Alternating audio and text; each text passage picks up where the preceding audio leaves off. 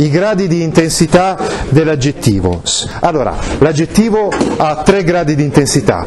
Il grado positivo, quindi quello dell'aggettivo qualificativo così come l'abbiamo studiato fino ad adesso noi, segnala la presenza della qualità, senza precisare l'intensità dell'aggettivo o comunque senza metterlo in paragone, in confronto con altri aggettivi. Poi abbiamo il grado di intensità comparativo. Grado col grado di intensità comparativo abbiamo invece un paragone. Shhh. Basta adesso però adesso, se non state zitti io spiego solamente i numerali e basta. Anzi, mettiamo immediatamente una nota sul registro a chi parla nel corso di questi minuti. Allora, stavo dicendo, il grado comparativo. Nel grado comparativo l'aggettivo esprime la qualità stabilendo un confronto tra le persone e le cose. Per esempio, Andrea è più alto di Giovanni, comparativo di maggioranza. Andrea è alto come Giovanni, comparativo di uguaglianza.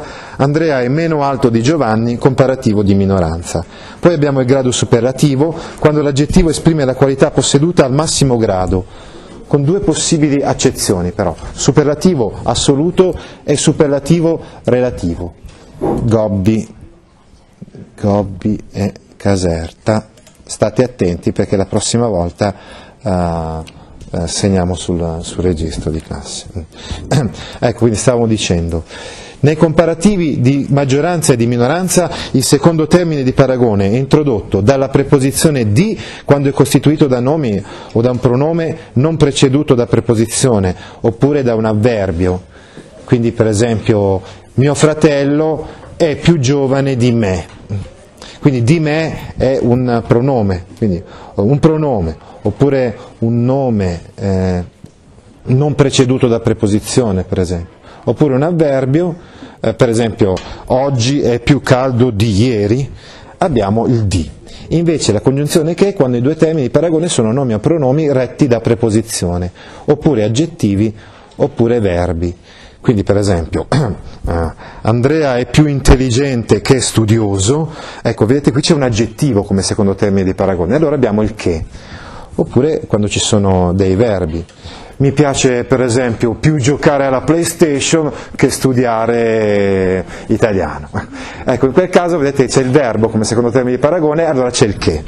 Bene, il, il di quando è un nome, un pronome o un avverbio. Il che quando i nomi o i pronomi sono retti da preposizione. Per esempio, preferisco andare al cinema con una bella ragazza più che con, uh, che con, che, con un ragazzo. Ecco, ecco, in quel caso il nome è preceduto da una preposizione, con, è preceduto dalla preposizione con, e quindi ci vuole il che. Quando il nome eh, o l'avverbio sono preceduti da preposizione, allora, allora ci vuole che. Eh, per esempio, eh, che ne so, mm, eh, per esempio, una, uh, vediamo un po' se riesco. Ah sì, ecco, il mio collega di francese preferisce andare a mangiare uh, con uh, la collega di matematica più che con me che con me. In quel caso il pronome è preceduto da con e allora, eh, e allora ci vuole il che al posto del, del, di. Bene, il grado superlativo. Il grado superlativo indica la qualità nel suo massimo, nel suo minimo grado e si distingue in superlativo assoluto e superlativo relativo. Superlativo assoluto, intensità massima o minima. Eh? Ecco, eh, generalmente il superlativo assoluto lo si forma con un suffisso, che è il suffisso. Per esempio largo, larghissimo, pio, piissimo, vario, varissimo, eh? giovane, giovanissimo, però il superlativo può essere espresso anche in altri modi, con un avverbio, per esempio, molto piacente, quella donna è molto piacente, oppure, eh, oppure assai, questo problema è assai complicato, estremamente, questa arrampicata è estremamente difficile, oltremodo. La, la relazione del, dell'esperto fu oltremodo noiosa. Ecco, eh, oppure eh, può essere espresso superativo assoluto con dei prefissi, per esempio arcinoto, ultraleggero, straricco, eh, extraconiugale, iper, uh, iper uh, aiutatemi, come possiamo dire? Iperattivo, iperteso, benissimo, uh, sovraeccitato, eh, su, su, no, ipermercato è un'altra cosa, eh. e quello è un nome, non è un aggettivo, eh. super, super preparato, boh, eccetera. Oppure può essere preceduto da tutto o seguito da un aggettivo, un nome e una locuzione, quindi si può trovare in svariati modi.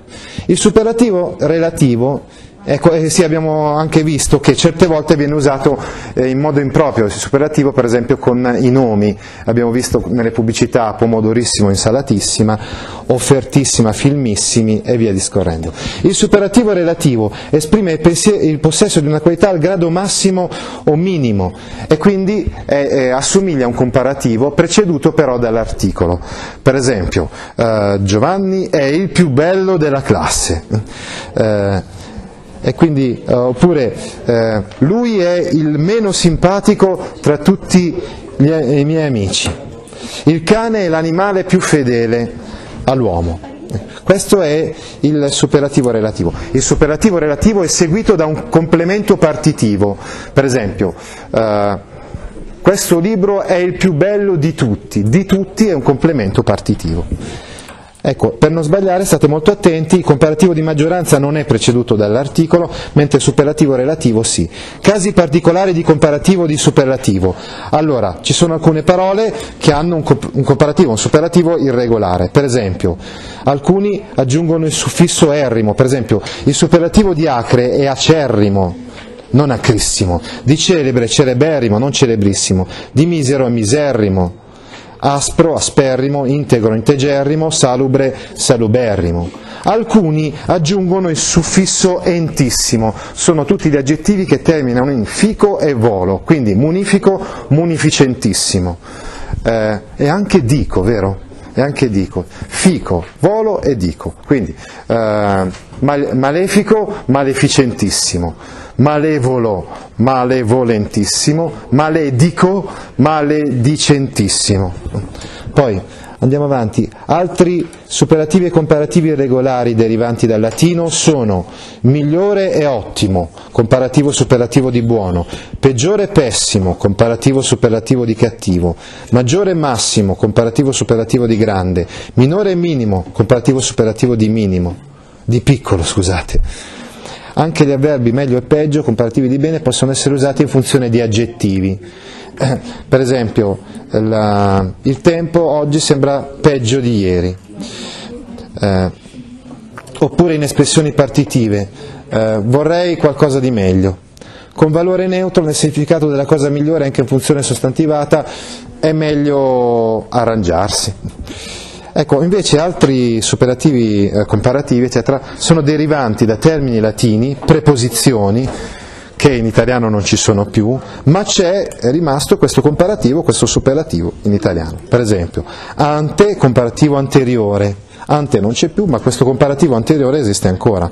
Così esteriore ed estremo che derivavano da extra, inferiore, infimo che derivavano da infra, interiore, intimo che derivavano da intra, prossimo che derivava da pre o da prope, poi posteriore, postremo o postumo che derivavano da post, prossimo che deriva da prope o da pro,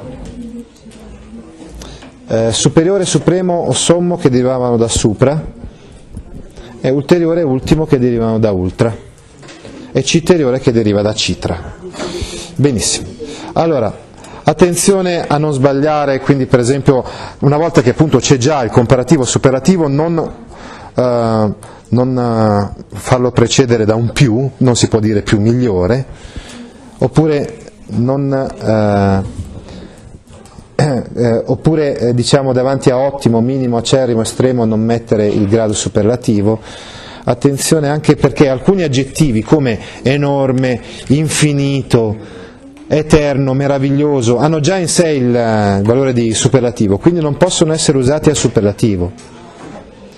Eh, infine non ammettono né il grado comparativo né il grado superlativo gli aggettivi che esprimono caratteristiche o qualità specifiche, perciò non graduabili dal punto di vista dell'intensità, come statale, cubico, conico, chimico, caratteristiche politiche, culturali, religiose, come appunto musulmano, cristiano, siciliano, eh, idealista.